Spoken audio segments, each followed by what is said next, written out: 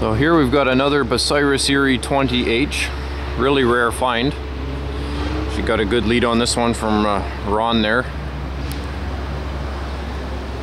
So two in one week, that's pretty amazing. So, so this would be the only two of them probably in the whole valley. They'll fix thumb.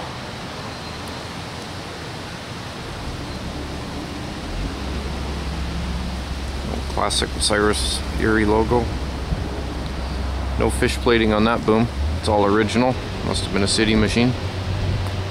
So you got bumped in the head once there. got a dent in the cab.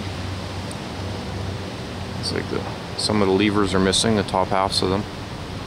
It's behind a fence, I can't get in here, but the zoom's coming in good. The shovel tracks.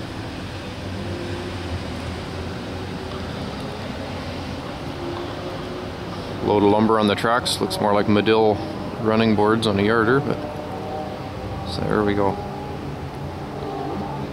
It's pretty neat.